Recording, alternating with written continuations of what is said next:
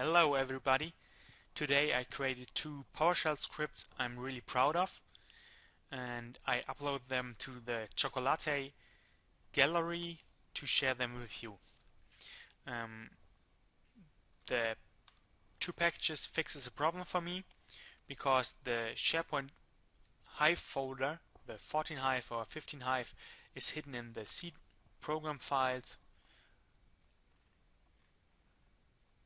common files, Microsoft Shared, web server extension, 14 folder for SharePoint 2010 and 15 for 2013.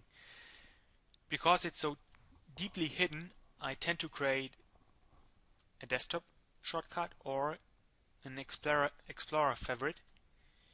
But because I'm lazy, I created a PowerShell script for it and I'm going to show you how it works.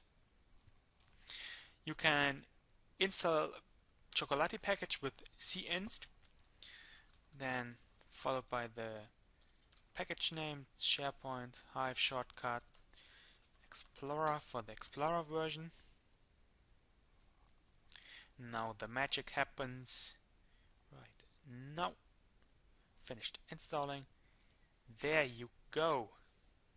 Quite cool. Okay, this is the Explorer version, and I'll show you the desktop. Three, two, one. Go! Quite simple. Love it. Would love to hear your feedback and see you soon.